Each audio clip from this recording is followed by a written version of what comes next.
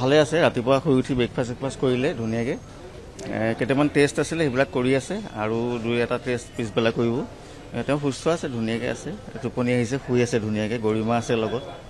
বাকী কালি ৰাতি সিদ্ধাৰ্থ ৰিদীপ শেখৰ গোটেইখিনি থাকিলে। এতিয়া সুস্থ ধুনীয়াকৈ আছে মাজে মাজে স্ক্ৰিপ্ট লিখিছে তেওঁ নিজৰ চিনেমাৰ কাৰণে। গতিকে ঠিকে আছে আৰু যিখিনি পাৰি আই চি ইউতে ৰাখি যিমানখিনি টেষ্ট কৰিব পাৰি সেইখিনি কৰিবলৈতো ভাল বুলি ঘৰৰ মানুহে ভাবিছে গৰিমা আৰু আমাৰ সতীৰ্থ বৰগৈ। গতিকে সেই টেষ্টখিনি কৰিব আজি গোটেইখিনি কৰিব। তেওঁ তেওঁতো নিজে যাওঁ যাওঁ কৰিয়ে আছে। কৈছে গৰিমাক যে ঘৰলৈ যাওঁগৈ আৰু।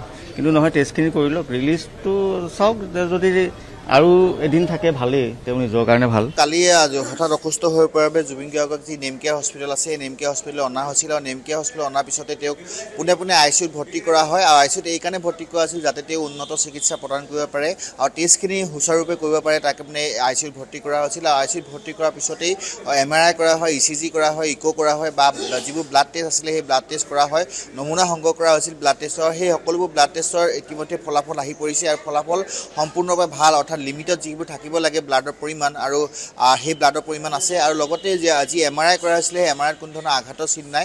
তাৰ বাবে এটা ভাল খবৰ। আৰু সেইবাবে তেওঁক তেওঁক কালি যিহেতু যি আই চি ইউ আছে আই চি ইউতে ৰখা হৈছিলে যাতে উন্নত চিকিৎসা প্ৰদান কৰিব পাৰি। আৰু চাৰিজনীয়া এটা ছুপাৰ স্পেচিয়েলিটি যি দল আছিলে সেই দলটোৱে চিকিৎসা প্ৰদান কৰি আছিল। আৰু আজি তেওঁক কেবিনলৈ কিছু সময় পিছতে শ্বিফ্ট কৰা হ'ব বুলি জানিব পৰা গৈছে। আৰু তেওঁ ইতিমধ্যে সম্পূৰ্ণৰূপে সুস্থ সুস্থ হৈ উঠিছে বুলি জানিব পৰা গৈছে। আৰু যিহেতু কেবিনত শ্বিফ্ট কৰাৰ পিছত হয়তো আজি বা কালি তেওঁক কেবিনতে ৰাখিব। তাৰপিছত তেওঁক আহ, ঘৰলৈ যাবলৈ দিয়া হ'ব। আৰু যিখন তেওঁক যথেষ্ট যিহেতু বিশ্ৰামৰ প্ৰয়োজন আছে ইতিমধ্যে চিকিৎসকৰ দলটোৱে প্ৰকাশ কৰিছে যে অধিক মাত্ৰা বা আহ, অধিক কঠোৰ পৰিশ্ৰম কৰাৰ বাবে তেওঁ আহ, তেওঁ যিহেতু এনেধৰণৰ এনেধৰণৰ এনেধৰণৰ যিহেতু হঠাৎ তেওঁ অসুস্থ হৈ পৰা হৈছিলে আৰু তাৰপিছতেই তেওঁক ইয়ালৈ অনা হৈছিল। আৰু যিহেতু চিকাৰৰ কাম চলি আছে লগতে কেইবাখনো চিনেমাৰ কাম চলি আছে তিনিখনকৈ চিনেমাৰ কাম চলি আছে সেই চিকাৰৰ কামত তেওঁ ব্যস্ত আছিলে। ষ্টুডিঅ'ত আৰু ষ্টুডিঅ'ৰ পৰা ওলাই অহাৰ সময়তে হঠাৎ ফুলত পানী দিয়াৰ সময়ত হঠাৎ ঢলি পৰে আৰু ঢলি পৰাৰ পিছতেই ইয়ালৈ অনা হয়। ইয়াৰ পূৰ্বেও যিহেতু তেওঁ তেওঁ এনেধৰণৰ এনেধৰণৰ ৰোগতে আক্ৰান্ত হ'বলগীয়া হৈছিল হঠাৎ তেওঁ ঢলি পৰিবলগীয়া হৈছিল আৰু সেই সময়তো এই নেমকীয়া চিকিৎসালয়লৈ অনা হৈছিল আৰু তেতিয়াও কৈছিল যে কিছু বিশ্ৰামৰ প্ৰয়োজন কাৰণ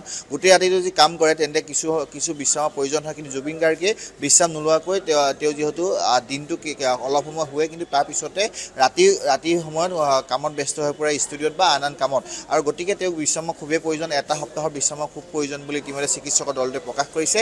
আৰু সেই অনুসৰি তেওঁ তেওঁক ইতিমধ্যে বিশ্ৰামৰ বাবে পৰামৰ্শ প্ৰদান কৰা হৈছে। আৰু ক'ব বিচাৰিম যে দহ তাৰিখে তেওঁ লণ্ডনলৈ যোৱা কথা আছিলে। চিকিৎসকে প্ৰকাশ কৰিছে যে লণ্ডনলৈ যোৱা কোনো ধৰণৰ অসুবিধা নাই। কিন্তু তেওঁক এসপ্তাহ পিছত পলমকৈ যাবলৈ দিছে। কাৰণ এসপ্তাহ তেওঁ বিশ্ৰামৰ প্ৰয়োজন আছে। চিকাৰৰ শ্বুটিঙৰ কামত লণ্ডনত যোৱা কথা আছিলে কাইলৈ। অৰ্থাৎ দহ তাৰিখে যোৱা কথা আছিলে। সেই কাৰ্যসূচী ইতিমধ্যে বাতিল কৰিছে। আৰু লগতেই আন আন যিবোৰ জুবিনৰ অসমৰ বিভিন্ন স্থানৰ লগতে ভাৰতত যিবোৰ অনুষ্ঠান আছিলে সেই অনুষ্ঠান সম্পূৰ্ণৰূপে বাতিল কৰা হৈছে।